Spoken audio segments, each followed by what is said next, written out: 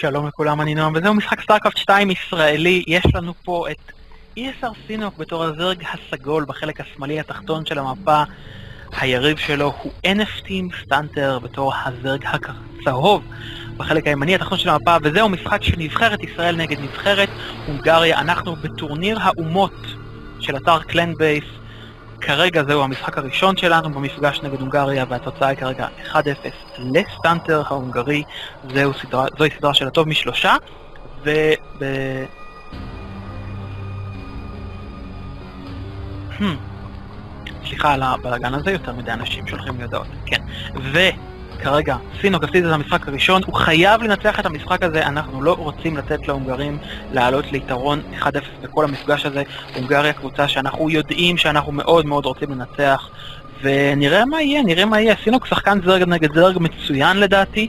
אה, במשחק הקודם אני חושב שזה היה mirror matchup כמעט מוחלט על הדקויות הקטנות ביותר, ושני השחקנים בסופו של דבר אה, עשו בערך מה שהיריב שלהם עושה. StuntR לא עשה הרבה דברים יותר מדי טוב לעומת Sinok, אבל Sinok עם פאשלה קטנה שם, שלא קרה אה, נכון עם העובדים שלו אה, בגז ב natural, היה לו קצת פחות גז ישר מההתחלה, לאחר מכן StuntR הצליח לקחת בסיס שלישי, Sinok לא הצליח, ול StuntR היה אפילו יותר גז, ובזמן ששניהם היו על טכנולוגיית המיוטליסקים, לא היה יותר מדי מה ש Sinok היה יכול לעשות, ל StuntR פשוט היה יותר מיוטליסקים.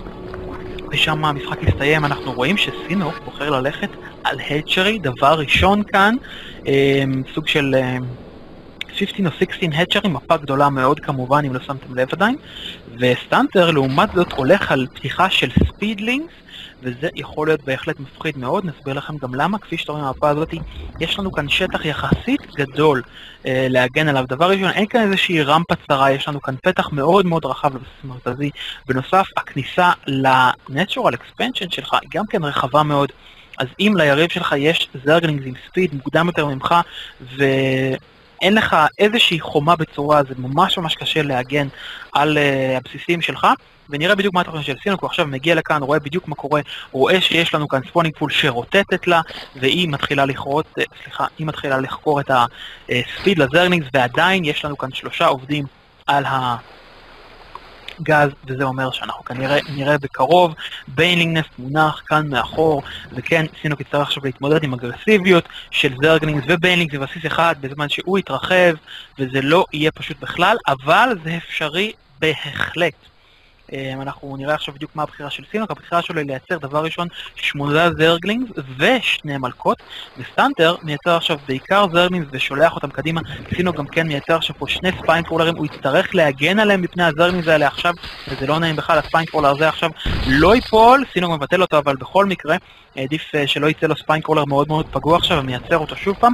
והנה סטנטר עכשיו מגיע לכאן עם ה zergling שלו, סינוק במספר יותר גדול של zergling, סטנטר רואה את זה ונסוג מיד לאחור, אבל ה speed של סטנטר עוד רגע הולכת להסתיים, סינוק צריך להבין את זה וצריך לסגת בשביל שהוא יוכל להילחם ליד ה spine crawlerים שלו ולא כאן בשטח הפתוח, וסטנטר עכשיו התחיל להילחם בזמן שה speed שלו קרוב מאוד להסתיים, וסינוק מביא לכאן עוד zergling, הוא רוצה להילחם והוא מצליח, בחירה חכמה של סינוק מחסל מספרים יותר טובים מהיריב שלו של zergling, אבל עכשיו הוא צריך ללכת ולהגן, ויש הרבה מאוד zerglings נוספים לסינוק בדרך. עכשיו, ה speed של סטנטר הולך להסתיים, סינוק עכשיו ללא גז בכלל, סינוק יצטרך להתמודד עם ה banelings האלה.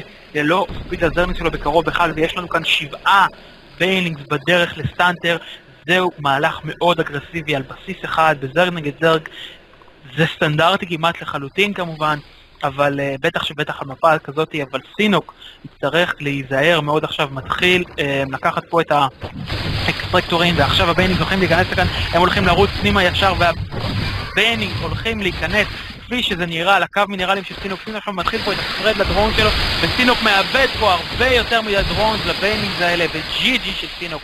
סטנטר לוקח את המשחק הזה 6 דקות ו-9 שניות, ומנצח גם כן את המערכה.